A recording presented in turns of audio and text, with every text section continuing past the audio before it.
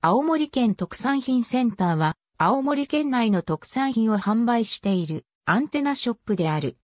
また、青森県弘前市周辺の伝統野菜として知られる唐辛子、清水森ナンバを復活させた在来津軽、清水森ナンバブランド確立研究会の事務局としても活動している。青森県弘前市と東京都中央区に店舗が所在しており、いずれの店舗も季節ごとの特産品を揃えるとしている。津軽藩、ネプタ村青森県弘前市に所在。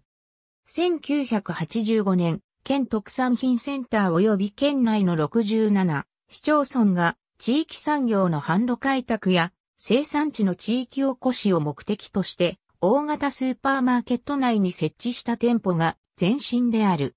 1996年、弘前公園に隣接する観光施設、津軽藩、ネプタ村内に移設した。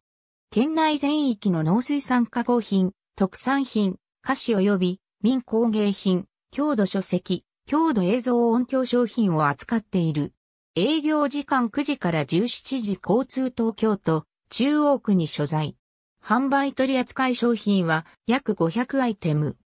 季節により、青森リンゴやニンニク、長芋など、青森県が日本一の生産量となっている果物や野菜類をはじめ、同県内の漁港から直送された魚介類や旬の山菜を販売するイベントも開催している。営業時間から10時から18時30分。ありがとうございます。